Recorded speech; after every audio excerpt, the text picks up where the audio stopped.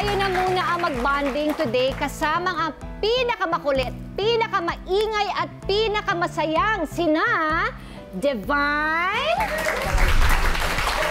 Chrissy at Chino,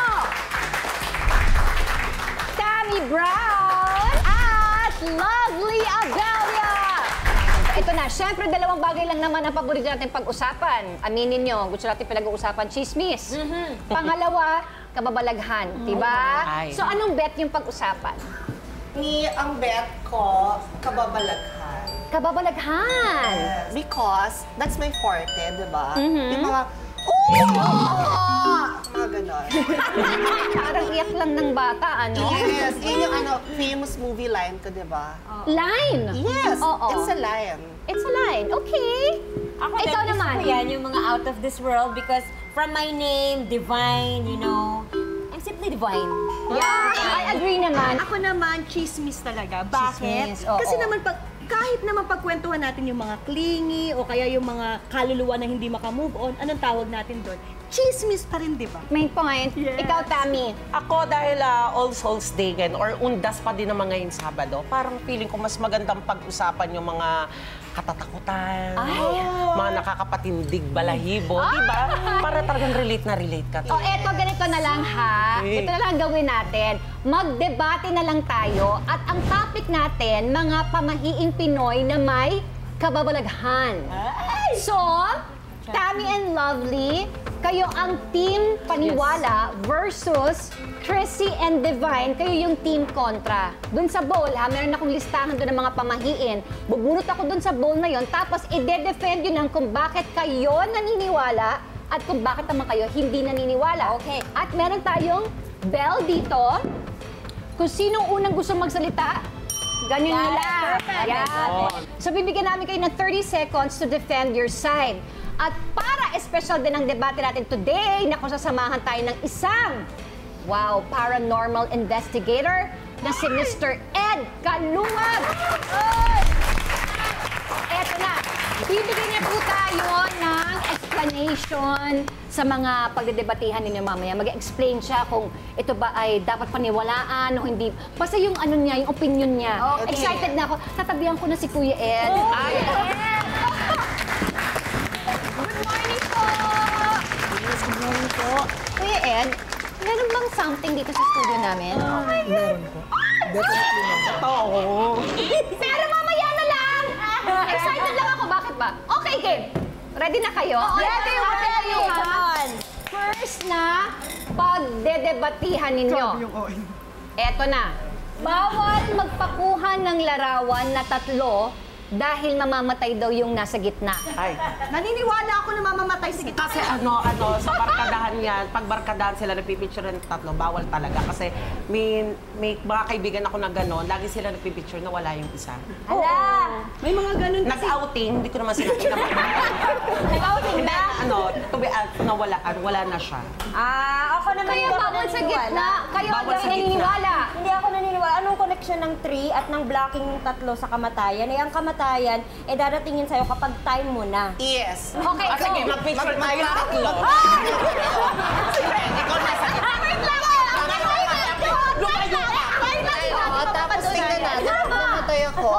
Chrissy. Magpa-picture kayong tatlo. Ikaw sa gitna. Tingnan Okay, natin. okay.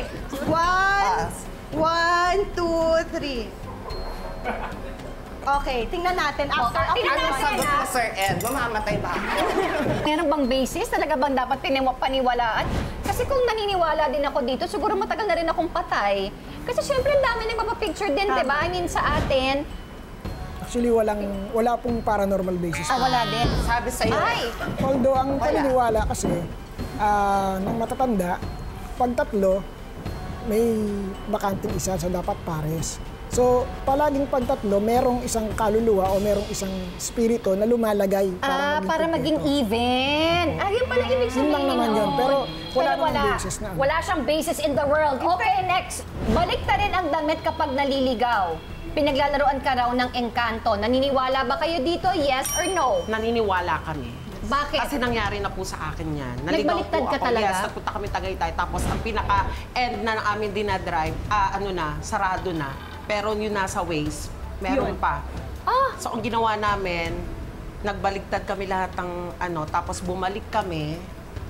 Pagbalik namin, nakalusot na kami. Okay, question na bago ni pagpatuloy. When you say baliktad, as in yung ito, Nasa loob. babaliktarin ko? Di o po, yung, nasa loob yung nasa loob, yun yung sa labas? Inside out. Ah, inside out. Hindi Yes. yung ito nasa likod, ito, No. ah, baliktad. Okay, So, game. naniniwala ka na rin ba? Hindi ako naniniwala doon. Kasi there was this one time, nagda-drive kami, tapos, as in, load, Bakit ka parang naiiyak? Oh my God, yung pinig mata mo na. Nag-vertigo ako. Ah, na-vertigo ka.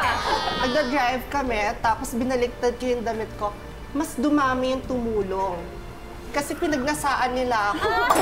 yes, pero hindi ako naniniwala dyan. Ikaw, Divine. Ako wala talaga akong makitang logical explanation. Kasi, Anong kinalaman ng Wow, gamit, ano? logical ah. Oo, yung logical. Te, hindi ko alam kung anong kinalaman ng binaligtad na damit sa daan. Eh, konkreto yun. Okay, kayo po, Kuya Ed. Based po dun sa experience ko, sa dami na nakausap ko, marami nagsasabi na talagang pag binaliktad, nakikita nila yung tamang daan. Pero pag pinag pinag-usapan natin yung mga elemento na responsible dyan, kaya ka naman nilang iligaw whether baliktad o hindi yung damit mo. Oo, oo. So it's just a matter na pag binaliktad mo kasi yung damit mo, na- nawawalan sila ng interest sa'yo. Kasi naiiba yung perception. So, yun lang pala yun. Wala naman pong bearing kung baliktad o hindi. Kaya pa nilang iligaw.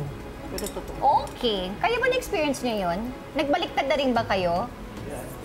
Ay, halo, oo, tsaka hindi. Ako kasi nung bata, na-experience ko yun eh. Parang meron kaming provincial show. Um, nasa isang van kami, marami kami mga artista doon. Tapos gabi na, hindi na namin alam kung nasa na kami. Papunta na kami, imagine mo road ha, tapos madilim, walang mga ilaw, papunta na kami sa ilog. As in, konti na lang mahuhulog na kami sa ilog. So parang sabi nung manager ko dati, magbaliktad na kayo, ganyan-ganyan. Sabi ko, bakit kaya ka lang mag... So ako naman sunod, nagbaliktaran na kami ng t-shirt. Tapos after while, nahanap namin. So ewan ko kung anong kasabihan or kung anong nangyari. Anyway, wag iihi sa punso at gagante ang mga engkanto. Ay, yung mga nuno sa punso, yung mga ganun po, di ba? Ay, game! Chrissy, go! Hindi ako naniniwala dyan because hindi ang nuno ang magagalit. Sino ang magagalit? Yung mga insects, di ba? We have to respect them. Ah, naniniwala naman kami kasi Totoo yan. talagang sa totoong buhay meron talagang mga hindi tayo nakikita or may mga engkanto talaga. Correct. Meron kasi sa probinsya, laking Mindanao po kasi ako. Meron din parang hindi ko masabi pero maliit lang na bundok na ganyan. Ginalaw, ginalaw kasi akala nila parang lupa lang na yun po, meron nangyaring hindi maganda. Divine, naniniwala ka? Hindi, hindi, rin, hindi pa rin ako naniniwala kung na may nakatira doon. Kasi unang-una, espiritu sila. Kung engkanto sila, hindi nila kailangan ng konkretong bahay para tumira. Kasi hindi naman sila physical, hindi naman sila tao eh. Hindi naman sila, wala naman silang flesh. I mean, ganyan. Ako naniniwala ako. Kasi nung kwento sa akin ng lolo ko nung bata ko, bago sila magpatayo ng bahay doon, yung tatay ko ang gumiba ng punso. And then after one week, namatay ang tatay ko. Totoong buhay yun. Ay, Totoo ba yan? Totoong buhay po yun. 25 years old na yung tatay ko. Oh Tapos my 8 gosh, ang months baby. bata. 8 months baby pa lang ako. Kaya naniniwala kami. Kasi hindi ka naniniwala. Kasi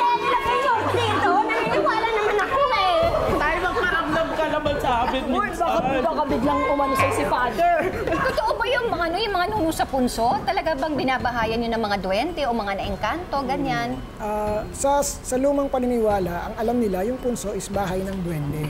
Okay. Pero mas madalas, gawa to ng mga anay. Kaya lang, it so happen na may pagkakataon kasi na dun sa area kung nasaan yung punso, dun din yung area na ito yung portal o Parang dimensional nagkakataon door. lang na nandoon lang Mas din. madalas na ganun kasi ah, ala- alaga nila kasi yung nature eh. So kung nasaan yung mga anay, nasaan yung maraming hayop na ano, nandun sila. Anyway, eto na nga. Kanina, kanina po, ah, mga happy nanays, inimbestigahan po ni Kuya Ed itong ating studio kung meron bang kaluluwa na umaaligid-aligid dito. Ako so, ito yung tinanong ko kanina, Kuya Ed, meron nga ba dito sa studio na umaaligid-aligid? Yes, or no lang? Yes. Ay! Naku, yes! Oh my God, so scary. Alright, and we are back. Ito na po ang pinakahihintay natin. Nako, makakwentuhan na po natin ang sikat na paranormal investigator na si Kuya Ed Kaluwag. Ayan, Kuya Ed, katulad ng sinabi, nung tinanong ko kanina kung meron ba kayong nararamdaman o nakikitang mga mga kaluluwa na umiikot Oh dito sa gosh. studio. Sabi niyo po meron. Yes. Ilan po yung nakita niyo? Kanina, pinaka-prominenteng nakita ko is yung bata. Bata. May Babae po ba o lalaki? babae na lakad ng lakad. Kahit saan kami magpunta kanina, nakikita ko siya. Ibig sabihin, itong area na to, kabisado niya. Oo, parang ito na ang bahay niya. Yeah, parang ganon. Hindi niyo nakita niyo yung, baba, yung bata? As in talagang may mukha? As in may outfit? Ganon? Parang ano siya, eh, bata siya na yung outfit niya siguro mga nasa 90s.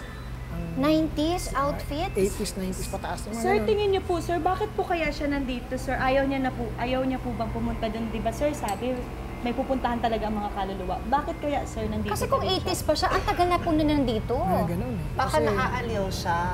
Or dati siyang artista, di ba? posible po na dati talagang mataas Nandito yung ba, nandito memories. ba siya ngayon? Nakikita niyo ba siya ngayon o hindi? Wala. Kanina po nandun siya. Sa nung naglibot kami, meron ako nakitang babae. Tapos kanina, meron din ako nakitang parang lalaki naman.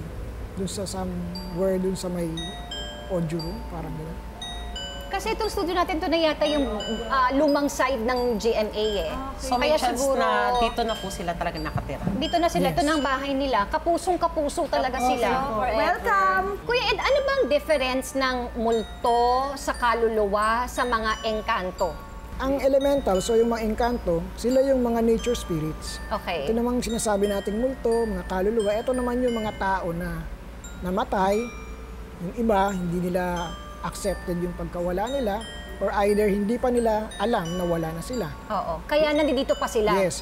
Yung iba naman, yung tinatawag nating earthbound spirits, ito naman yung talagang hindi sila ma- Mga kapuso, higit 10 milyon ang nakasubscribe sa GMA uh, Network YouTube channel, ang fastest growing channel sa Asia. Nakatanggap tayo ng Diamond Play Button Award mula sa YouTube. Higit sa 10 milyon ang aming pasasalamat. Hanggang sa susunod na 10 milyon, magkita rin tayo mga kapuso.